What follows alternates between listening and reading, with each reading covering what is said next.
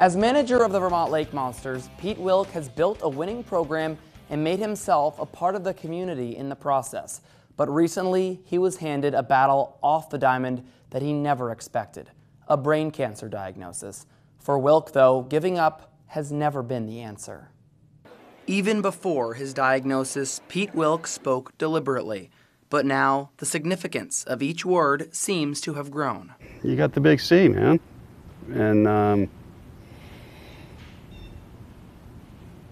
time is no longer unlimited. After a winning season in 2022, Wilk and his family settled in for a long off season at their home in Annandale, Virginia. But an eye doctor appointment in mid December changed everything. I'm fighting a tumor or a couple.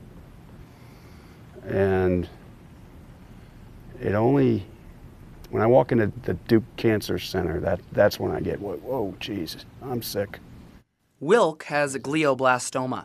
It might be a death sentence in most cases, but for the 58 year old, that's not an option. I don't think about cancer. And that might sound like I don't know what that sounds like because I'm not running away from reality. If he is running away, reality is running right alongside him. Your doctor said that you would beat cancer. What do you think makes him so confident on your case? When you have a doctor saying you can beat this, people like you beat this. I'll never forget that sentence.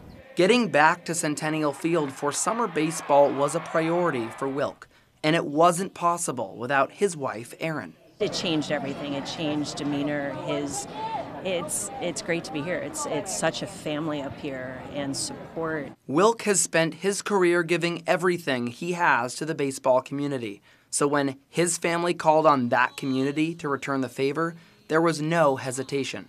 A GoFundMe has raised nearly $100,000. The Lake Monsters have been selling these wristbands to join the cause, and Pete Wilk Night earlier this month raised $20,000. I'll never forget it um, to uh, to see the to feel the the there's no other word to say it, but the, the love from the community was unbelievable. Are you scared? That's a great question. Um, I wouldn't use that word. I've never really sat down and, and analyze whether I've been scared or not. I, I um, probably should be.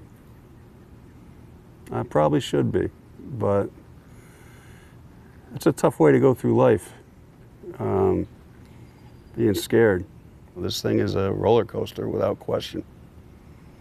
So you ride it out when you can, you try to win days. If I can win a day, um, I win the day and I'm happy with it. And uh, I've been winning a lot more days than I've been losing.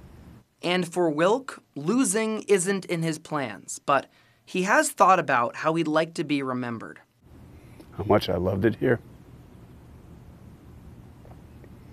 Um, how important it was to me and my family to be part of this community each summer.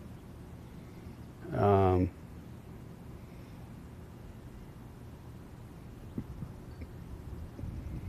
that's about as much thought as I want to put into that angle.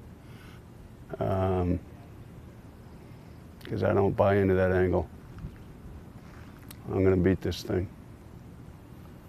Lake Monsters owner Chris English has offered Pete Wilk a 10 year contract with the team.